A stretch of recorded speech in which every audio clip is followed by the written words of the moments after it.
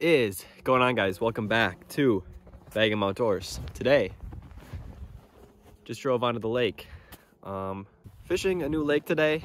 I am out here and we're gonna be doing some ice camping. I know I've made a few ice camping videos in the past, but today we're hoping for a giant. Um, I know there's some really, really big walleyes in this lake and there's also trout, pike, crappie, anything like that we can catch out here. But the main goal is to catch hopefully a 30 inch walleye. So we'll see. It's just be me, myself and I out here. And uh, yeah, we'll get set up here. I'm sitting at about 30 feet on a point with a pretty steep break line. So hopefully I can catch a big old walleye.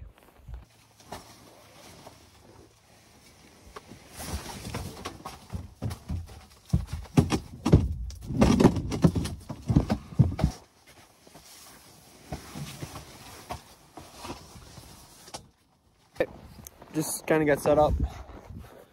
I did put a tip up like right there. And uh, car's right here. Shack's right here. Come inside. We got the uh, 20 pound propane. If you're gonna ice camp, you're gonna want the 20 pound propane can so you don't have to constantly switch it out. And uh, there's the heater right there. One hole, got my chair for jigging and then that's where I'm gonna sleep. And I did manage to forget my pillow and blanket, so I might have to make a run to Walmart later tonight. We'll see how that goes. Good. Yeah. Catch anything yet? No, I just had my first decent mark bite it though. I don't I don't think I'm gonna catch anything until it gets dark though, cause the water's so damn clear. I'm actually marking something decent right now. It's like a trout or some shit. It's a pout? A trout or something. Oh, just flying around. jeez, son. Alright, I gotta shower quick. Alright. See ya. See ya. Got him. This is a decent fish, guys. First fish of the day. What do we got? Oh, we got a big old Cisco. These guys are stinky.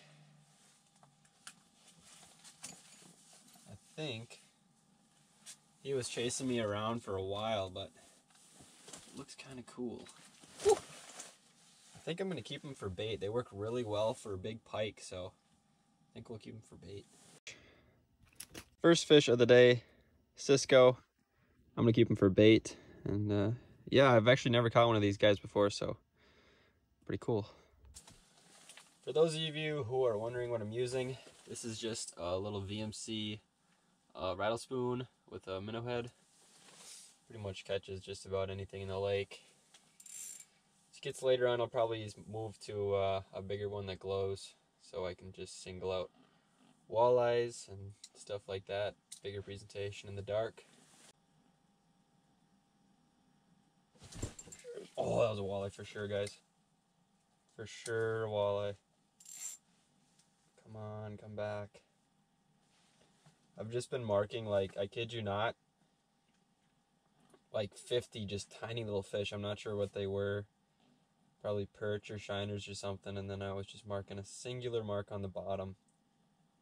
And that was definitely a walleye. So that's a good sign. The water's really clear, so I wasn't really expecting to get anything until the sun started to go down. And the sun basically just hit the trees, so should start getting more walleyes here. Alright guys, uh, little update. It's been a while since I last had that walleye bite, and uh, I had, did have a tip up. I didn't have it on camera, but I ended up missing it. Been marking a couple fish, but uh, it's getting pretty late, so I think it might be time to go to Walmart. So I'm going to go to Walmart, get a pillow, and I'll be back.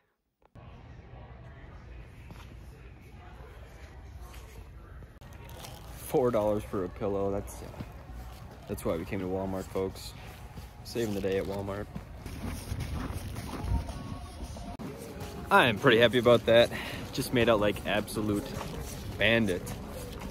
Pillow, blanket, and a can of Chef Boyardee for less than $10.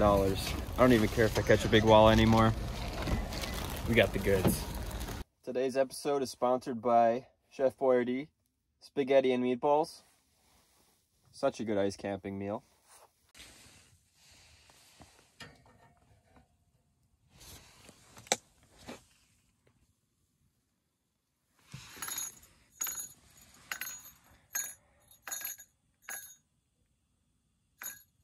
Well, I think we got one here.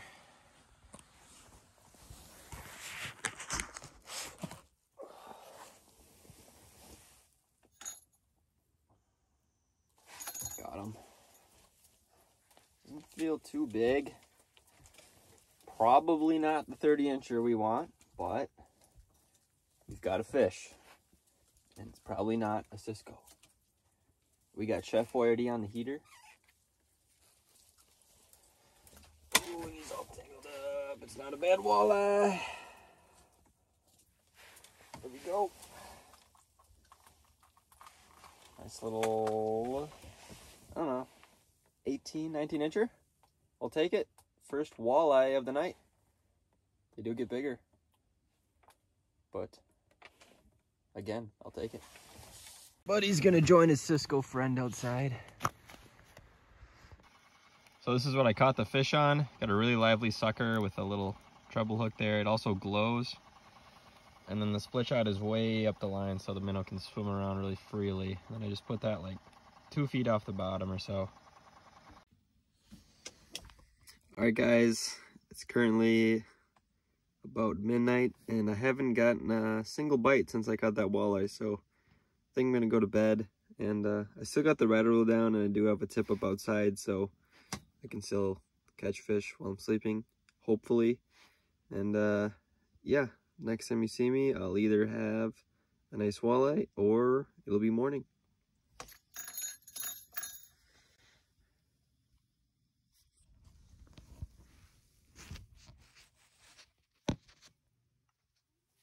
Well, good morning, everybody. I haven't had a bite in a while. So, this is a good change of pace. I think it's like 7 a.m. right now. But at least I was able to get some sleep. Alright, so that fish ended up taking the minnow off the hook. And if I zipper up the door, it is pretty bright outside already, so don't think I'm going to be getting any more walleye bites. Um, I think I had four walleye bites the entire night and only got one of them. So um, anyways, hopefully you guys enjoyed the video. I'm going to get packed up here and then uh, maybe head to a different lake and make a different video camping on a different lake. So uh, yeah, hopefully you guys enjoy it. And as always, remember to keep on bagging them.